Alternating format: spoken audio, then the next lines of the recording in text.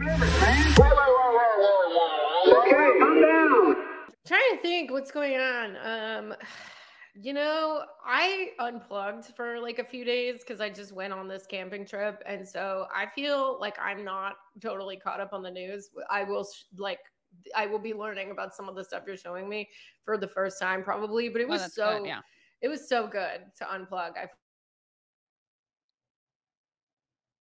It felt good to unplug.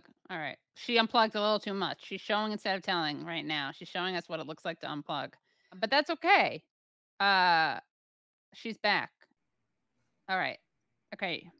Uh, sorry about that. Because you were Oh, that's okay. Kate unplugged. I do like that. Yeah.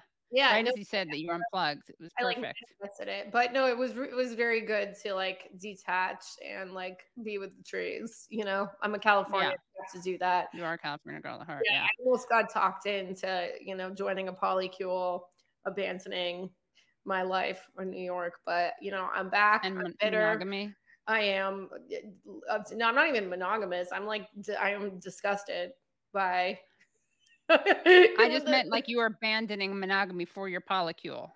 But you're saying you don't even monogamy identify. No, I'm like, I am, uh, I am my own wife at this point in the post Roe Yeah. world. Yeah. So, Oh yeah. yeah, I, it's, it's too gross. I mean, I think if, you know, if I was in an existing relationship, I'm sure I wouldn't like dump that person or anything, but it just feels Right. very like, oh man, like all the news is so misogynistic. And then, you know, some, I'll be on an app and some dude will send me a picture of his, you know, his stuff, his parts. And I'm like, this is too much. I'm just getting it from all angles here. So I'm kind of Yeah. reconvening with my witch nature at this moment. Yeah. Yeah. Wow. Wow. Well, well, maybe in a maybe I'll get personal. I I still I keep my that wall. I don't go fully personal the way you and Bree do, Briahna Joy Gray, but I may have to divulge some things at some point. We'll see. Like, no, I'm just kidding. Oh, just- Oh yeah, Good. yeah. You almost caught me. Yeah. Yeah. Uh, someone asked if you're gay, Kate. You give off lesbian vibes. I don't know. You don't have to answer that question. I just thought it was an interesting question. I don't know. I'm not sure. You know, I I identify as bisexual, but sometimes it goes Yeah.